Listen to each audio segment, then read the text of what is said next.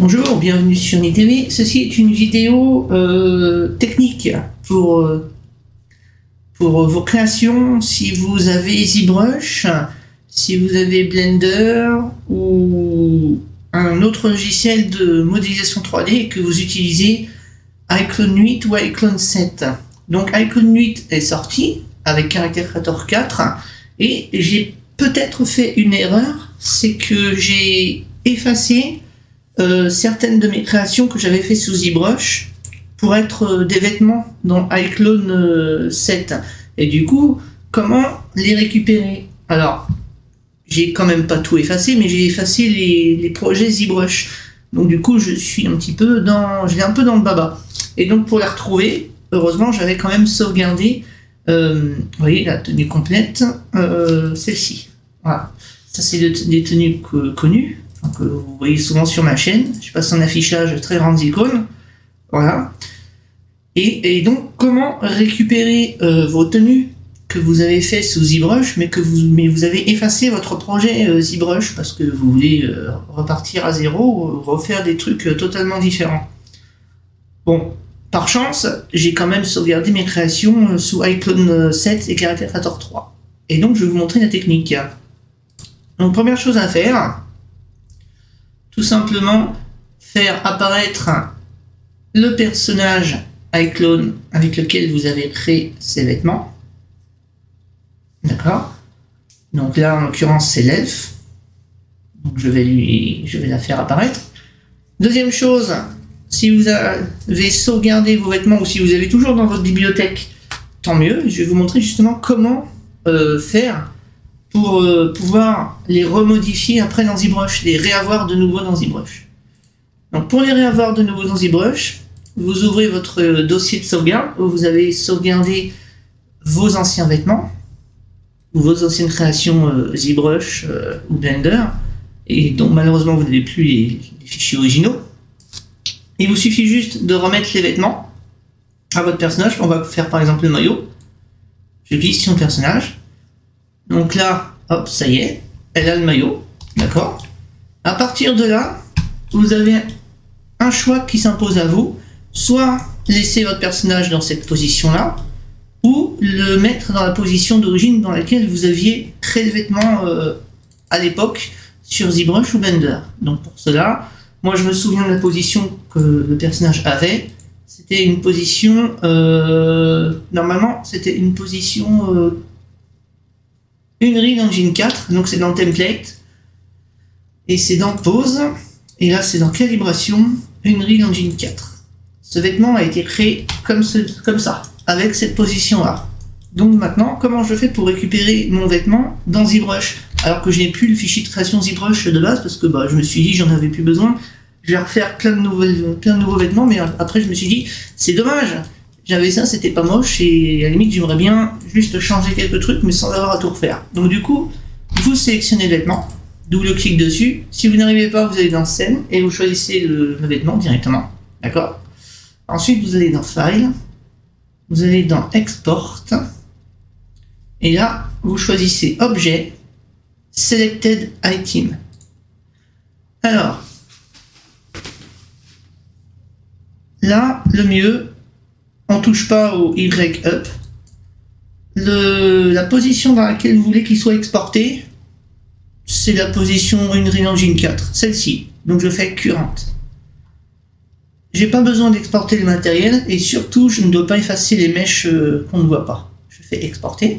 Je choisis un dossier dans lequel je veux le mettre. Donc là on va l'appeler euh, maillot, c'est tout. Je fais enregistrer. Voilà.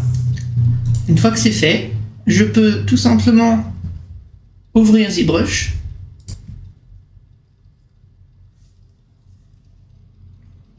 on attend que ça se mette en route.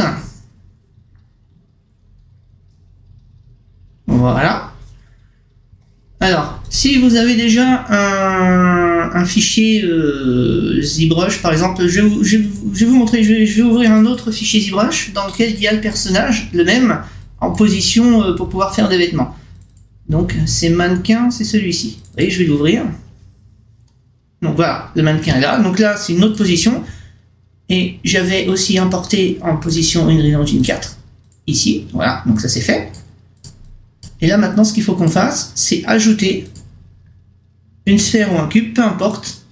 Parce que là, on va importer un objet. Donc, l'objet qui va être importé va remplacer l'objet actuellement sélectionné. C'est très important à savoir. Je vais dans importer. Il est ici. Je fais ouvrir. Et voilà, j'ai récupéré le vêtement que j'avais créé sous ZBrush. C'est exactement le même. Je me suis souvenu que je l'avais créé sous cette position-là. Très important d'essayer de se souvenir sous quelle position vous avez créé vos objets. Comme ça, vous êtes tranquille. Et là, ce que je peux faire, je peux changer, voilà. Et là, j'ai récupéré mon objet. Logiquement, euh, cet objet a été exporté en SBX à l'origine, donc l'objet que vous avez là n'a plus d'UV. C'est-à-dire que si vous voulez refaire la texture, vous devrez recréer les UV, donc c'est pas compliqué, hein. les e-plugins, UV euh, Master euh, et déballer. D'accord? Mais ça fonctionne. Maintenant, dans des cas différents, je vais vous montrer le cas d'une chaussure, par exemple. D'accord? Alors, le cas d'une chaussure, alors, euh, une chaussure ou un autre objet. Alors, attendez.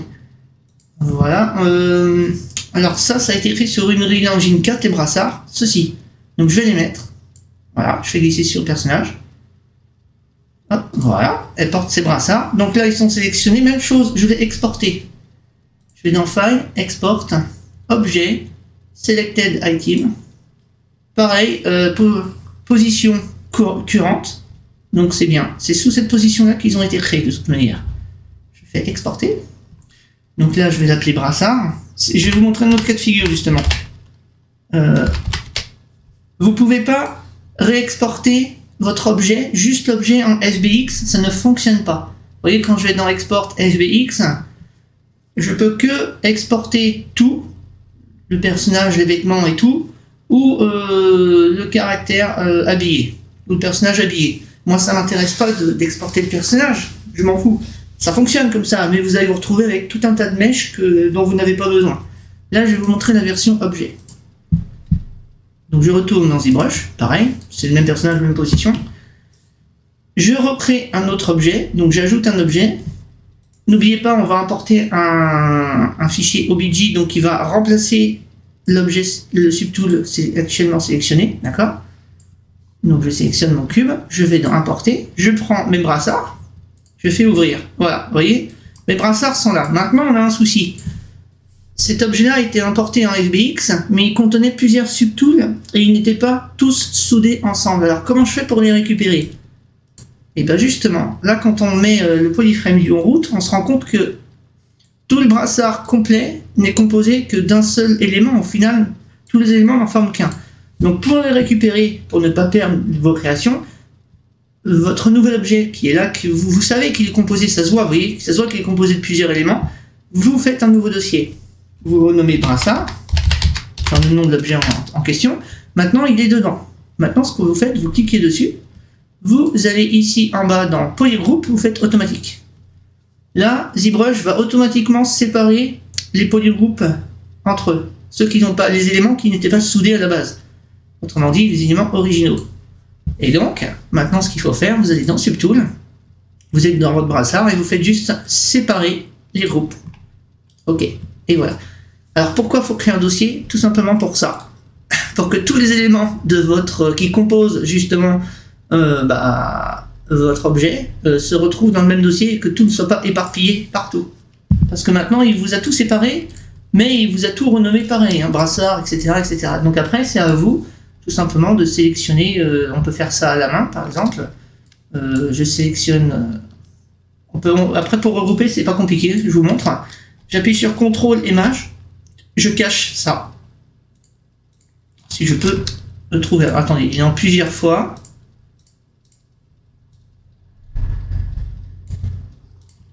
Ah, c'est la version. Là, par exemple, on a ça. Ça, je sais plus ce que c'est comme pièce. Faut la retrouver. Voilà, ça, c'est une sangle. Allez ici.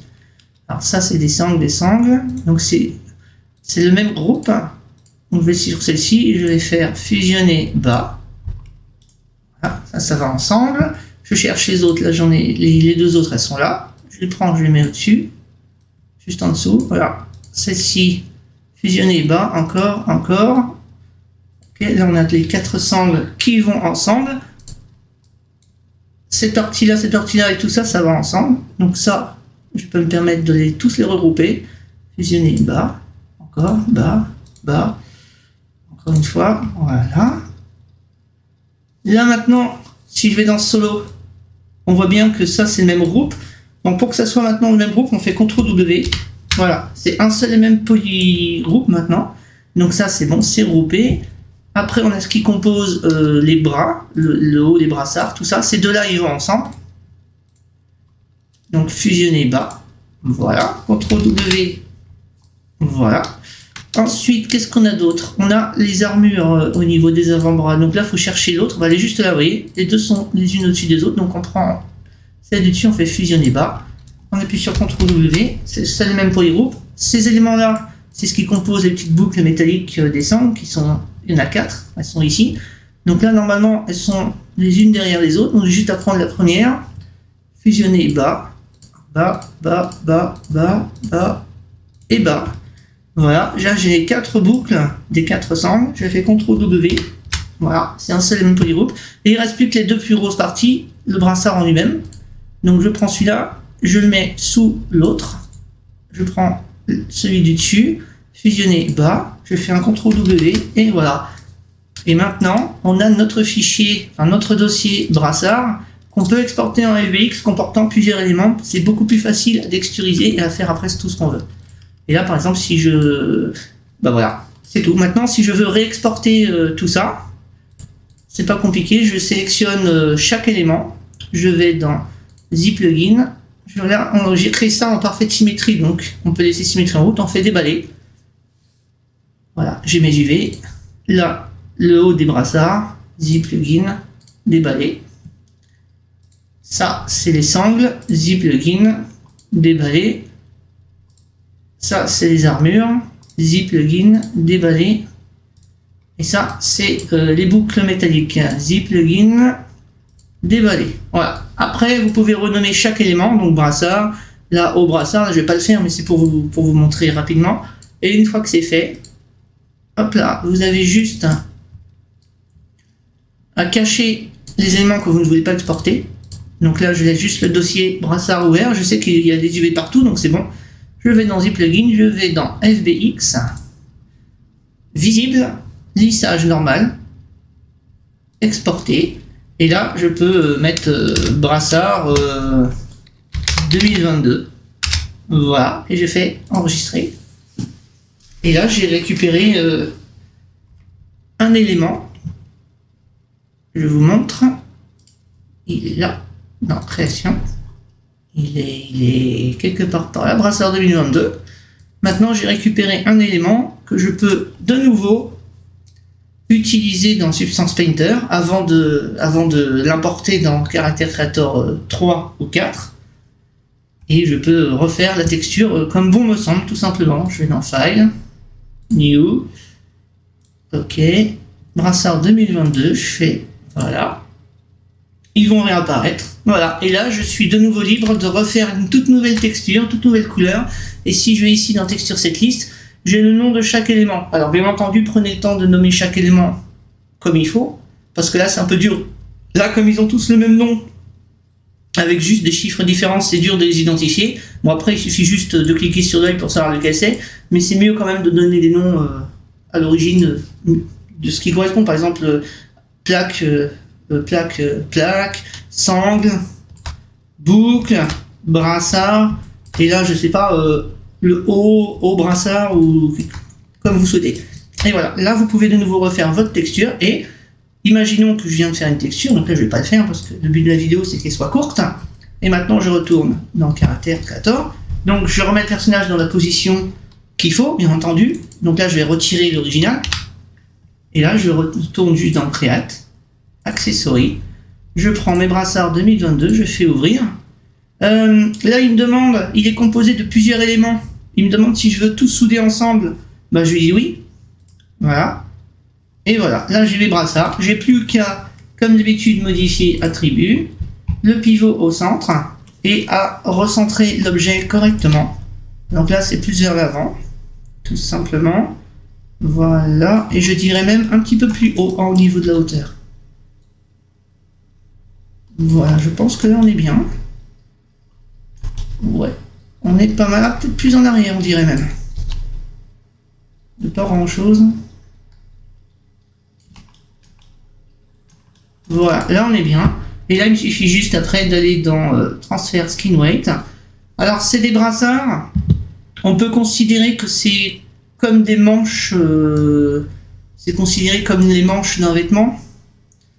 Donc on peut, on peut le laisser à, défaut. Ce sera considéré comme les manches d'un t-shirt ou d'un short. Ou si jamais on a un doute, si jamais on a un gros doute, on fait other. On applique. Et voilà. Et normalement, là, le personnage, il peut bouger. Il n'y a pas de souci. Oups, ça, je suis pas dessus. Je sélectionne un personnage. Voilà. C'est bon. On a récupéré euh, nos anciens vêtements. Enfin, si vos vêtements sont faits et que vous les gardez, vous n'avez rien à faire. Mais si jamais vous avez d'anciens vêtements que vous voulez rééditer dans ZBrush et que malheureusement vous avez effacé le dossier d'origine de création, vous pouvez les récupérer de cette manière-là. Et là, maintenant, à partir de là, si vous voulez resculpter par-dessus, ou si tout simplement, si, si tout simplement vous voulez faire une nouvelle tenue, et comme vous avez effacé la tenue originale, euh, et que vous souhaitez par exemple, je sais pas, retirer la plaque en fer, euh, retirer cette partie-là, retirer les sangles, ou qu'il n'y a qu'une seule partie sur cet élément qui vous intéresse pour créer un, nouvel objet totalement différent, et ben c'est de cette manière-là que vous allez pouvoir le récupérer si jamais vous avez oublié euh, ou vous avez mis euh, le dossier d'origine, ou alors si jamais vous l'avez euh, effacé par erreur. Voilà. C'est tout. À plus.